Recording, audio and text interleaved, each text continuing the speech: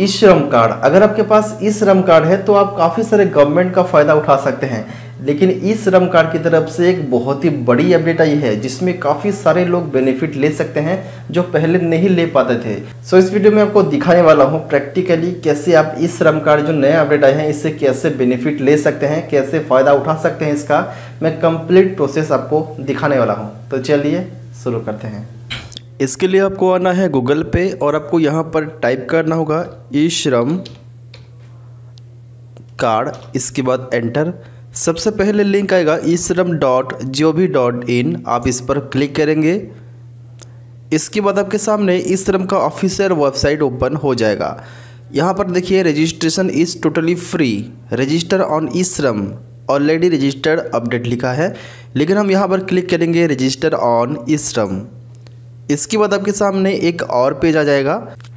जैसे आप यहाँ पर आ जाएँगे तो यहाँ पर देखिए रेड कलर में एक नोटिस यहाँ पर स्क्रॉल हो रहा है। यहाँ पर लिखा है, यदि आप एक प्लेटफॉर्म वर्कर हैं, ओला, उबर, जैसे कि जो ड्राइवर वगैरह होते हैं, अमेजन, फ्लिपकार्ट आदि के साथ काम कर रहे हैं तो प्लीज़ इस श्रम पोर्टल पे पंजीकरण करें या अपना विवरण अपडेट करें। If you are a platform worker working with Ola Uber Amazon Flipkart जैसे कि कोई ड्राइवर है जो कि ओला में या फिर उबर में ड्राइविंग करता है, या फिर कोई व्यक्ति अमेजन लॉजिस्टिक में काम करता है फ्लिपकार्ट में काम करता है तो उनके लिए भी सेपरेटली इस श्रम कार्ड में एक सेपरेट कॉलम दिया गया है, जो कि आप अपना प्रेफरेंस मेंशन कर सकते हो अब क्या काम करते हो, वहाँ पर अपना आईडी डाल सकते हो, ताकि इस श्रम से गवर्नमेंट से आपको बहुत ज़्यादा बेनिफिट मिल सके। तो अगर आपने इससे पहले ई श्रम कार्ड नहीं बनाया हुआ था तो आप यहाँ पर बना सकते हैं। जैसे कि यहाँ पर अपना आधार लिंक्ड मोबाइल नंबर डालना है, इसके बाद कैप्चा डालना है। इसके बाद अगर आप एक एम्प्लॉयज़ हैं ई या फिर ईएसआईसी का तो यहाँ पर यस करेंगे, नहीं तो नो। इसके बाद आपको सेंड ओ पर क्लिक करना है। आपके मोबाइल नंबर में ओटीपी आएगा ओटीपी डाल के आप आगे बढ़ेंगे, अपना ई श्रम कार्ड बनाएँगे। इसके बाद आपके सामने ई श्रम का एप्लीकेशन फॉर्म आ जाएगा, उसे आपको कम्प्लीटली फिल करना होगा, अपना पर्सनल डिटेल्स देना होगा। आप कौन सा काम करते हो वहाँ पर डालना है, जैसे कि यहाँ पर ऐड किया गया है श्रम में। अगर आप ओला उबर अमेजन फ्लिपकार्ट में काम करते हैं तो आपको वहाँ पर ऐड करना होगा। इस श्रम कार्ड कैसे बनाते हैं, उसके ऊपर मैंने कंप्लीट वीडियो बनाया हुआ है। उस वीडियो का लिंक इस वीडियो के नीचे डिस्क्रिप्शन बॉक्स में मिल जाएगा, आप जाके देख सकते हैं। लेकिन अगर आप ऑलरेडी इस श्रम कार्ड बनाए हुए हैं और अभी अभी ही आपने ओला, उबर अमेज़न फ्लिपकार्ट में ज्वाइन किए हैं, या फिर आप पहले भी ज्वाइन किए थे, लेकिन अब उस समय ओला, उबर अमेजन फ्लिपकार्ट का ऑप्शन नहीं था बोल के आप वहाँ पर अपडेट नहीं कर पाए अपना वर्किंग डिटेल्स सो अपना कैसे वर्किंग डिटेल्स वहाँ पर अपडेट करेंगे, इसके लिए यहाँ पर देखिए ऑलरेडी रजिस्टर्ड का एक लिंक है, इस पर क्लिक करेंगे। नीचे आएगा दो ऑप्शन पहले है अपडेट प्रोफ़ाइल तो इस पर क्लिक करेंगे। आपकी आधार कार्ड के साथ कौन सा मोबाइल नंबर, लिंक है, यहाँ पर डालेंगे। ये जो कैप्चा है, यहाँ पर डालेंगे। इसके बाद सेंड ओटीपी आपके मोबाइल नंबर में ओटीपी आएगा। उस ओटीपी को यहाँ पर ऐसे डालेंगे। इसके बाद सबमिट आपको यहाँ पर अपना आधार कार्ड नंबर डालना है।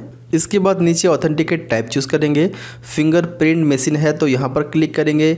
आँखों का मशीन है तो यहाँ पर क्लिक करेंगे।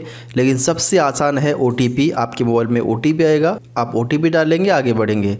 इसीलिए हम यहाँ पर ओटीपी पर क्लिक करते हैं। ये कैप्चा को यहाँ पर डाल के सबमिट पर क्लिक करेंगे। आपके रजिस्टर्ड मोबाइल नंबर में फिर से ओटीपी आएगा। आप यहाँ पर ऐसे डालेंगे। इसके बाद वैलिडेट यहाँ पर चेक बॉक्स पर क्लिक नहीं करेंगे और सिर्फ़ अपडेट ई के वाई इन्फॉर्मेशन पर क्लिक करेंगे। आपके सामने दो ऑप्शन आएगा फिर से। आपको क्लिक करना है अपडेट प्रोफ़ाइल में। इसके बाद आपके सामने छः ऑप्शन आएगा। सबसे पहला है पर्सनल इन्फॉर्मेशन सेकंड है एड्रेस तीन नंबर है एजुकेशन एंड इनकम, चार नंबर में है ऑक्यूपेशन एंड स्किल्स, पाँच नंबर पे है बैंक अकाउंट डिटेल्स और छः नंबर है प्रीव्यू। तो जैसे कि हमको अपना ऑक्यूपेशन को काम को अपडेट करना है तो यहाँ पर हम क्लिक करेंगे ऑक्यूपेशन एंड स्किल्स में। आपके सामने वाला स्क्रीन आ जाएगा, जैसे कि पहले ये स्क्रीन नहीं था, are you a platform worker नहीं था, ये नो ही है तो हम यहाँ पर यस करेंगे।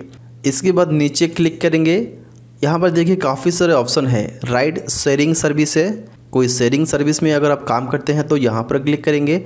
Food and grocery delivery services आप यहाँ पर अगर क्लिक करेंगे तो नीचे आ जाएगा Swiggy, Big Basket, Milk Basket Grofer Chai Point. जिस भी प्लेटफॉर्म पे आप काम कर रहे हैं, यहाँ पर ऐसे सेलेक्ट करेंगे।